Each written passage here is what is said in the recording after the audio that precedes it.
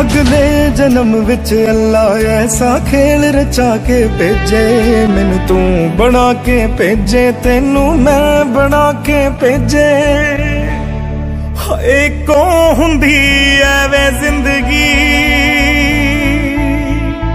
ਤੂੰ ਮਿਲਣਾ ਨਹੀਂ, ਮੈਨੂੰ ਵੇ ਦੁਬਾਰਾ, ਵੇ ਤੂੰ ਮੈਨੂੰ ਛੱਡ ਜਾਣਾ। ਗੱਲਾਂ ਤੇ